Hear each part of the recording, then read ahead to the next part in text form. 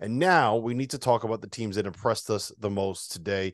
I got lots of things I got to say about Penn State. Booty Ball is alive and well. TL, before we do that, the Duke Blue Devils. We heard we just talked about two upsets. Everybody was picking Oral Roberts to upset Duke. And you know what happened? Duke jumped out to like a 13 to nothing lead. Oral Roberts didn't score until there were eight minutes gone. And I, I don't know even know what the final score was, but I'll tell you this. They were down by 30 at one point in the second half. Oral Roberts was. That was a paddling. That was a molly whopping. That was really impressive from the Blue Devils. A paddling. I like that. I used to get paddles in middle school. People don't get paddles anymore. That's a damn shame. But how about the defensive? Uh, how about the defensive show today by Duke? Max Abmas, who's been great for God knows how long, about as long as Kihei Clark. Like they've been in college for a long time. What do you end up with? Twelve points. They limited him with length. Dereck Lively, guys, we were kind of waiting to see like what he was going to be at this level. Like, because we all know he's going to go somewhere else next year. He's going to go to the draft, all this, that, and the third. But man, defensively, he has to have he has to have scouts salivating. He's switching, he's blocking shots, he's staying in front of guards. It's ridiculous what he's been able to do. And not only that, he can cover a ball screen and recover so damn fast that Vanover goes one for six from three. That length on that Duke team, I got him in the Final Four. I'm still feel pretty good about it. I know they're right close to Purdue. They're going to have to beat Purdue to get there if Memphis doesn't beat Purdue, but we're going to get to that. Here's the thing there's enough there now. And Jon Scheyer has done such a good job piecing this team together and putting them in roles where they can benefit offensively that they are really dangerous right now. And it's because they've leaned on their defense mm-hmm. all season long. And now you see both of them come together. People say complementary football all the time. It drives me crazy. This was complementary basketball. They just do the both. And and now they're dangerous and really dangerous at that. Mm-hmm. Yeah, Scheyer said it preseason, right? We got to hang our hat on on our defense.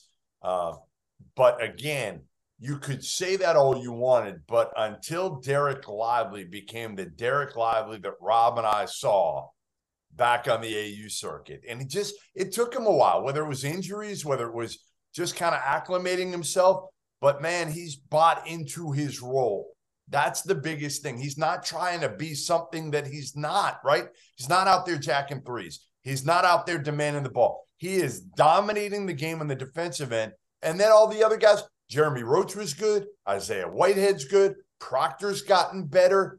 Filipowski's Filipowski. They got enough on the offensive end as well. Man, was Duke impressive today. Hey guys, just a reminder our sponsor for today's episode is Run Your Pool. They are hosting the Field of 68 Bracket Challenge. This year, they are giving away $1,500 in free prizes. It's all an incentive for you to get on there and find out just how good their platform is. I've been using them for my bracket pools for years. I've used them for Super Bowl squares. I use them for everything that I need to use them for. The biggest survivor pool that I'm in for both NFL and NCAA tournament is by Run Your Pool. So go check them out. The link's below. Tap in. Yeah, the uh, Dariq Whitehead. You said uh you said Isaiah Whitehead. That oh, was sorry. uh you, you made Dagan Hughes, our producer, cry just a little bit when you were saying that. That was back when Seton Hall was still good. Um, I to Ooh. me, look, it, it's two things with Duke that really stood out. to you, I want to I want to toss this to you real quick. You got about a minute on it. Dariq Whitehead was five for seven from the floor, three for three from three, scored 13 points, and came off the bench and was yeah. busting his ass.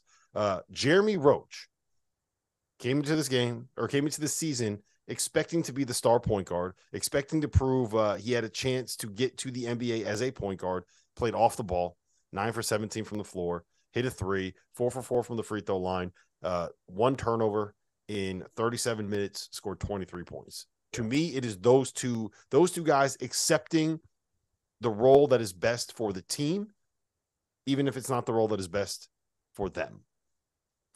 Yeah, that's a two parter because the reason I say that is one, you got to have guys that are willing to accept that role. And I think Jeremy Roach, that was much easier for him to do that. And then Dariq Whitehead kind of fell into that because of some of the injuries, and he just was better suited coming off the bench. But it's a credit to Scheyer, man. Role definition so important. And a lot of people were talking about Tyrese Proctor and how much potential he had.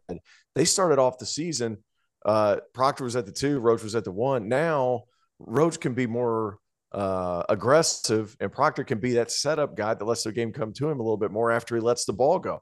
Mm-hmm. The, the way he's picked apart his own roster and put those guys in position. And the way they've continuously adapted says a lot about Jon and Duke's future, guys. Says a lot about Duke's future. We were wondering how this was going to go in year one. And a lot of times it takes guys to figure takes guys time to figure themselves out. This was pretty good. Now, counterpoint, is he going to be able to get guys that are willing to buy in as much as those guys have this year in some of these future recruiting classes? That's the part that's going to be difficult. But goodness me, when it all falls together, they're as impressive as anybody on a night where Filipowski had six points on two of seven shooting. Mm-hmm.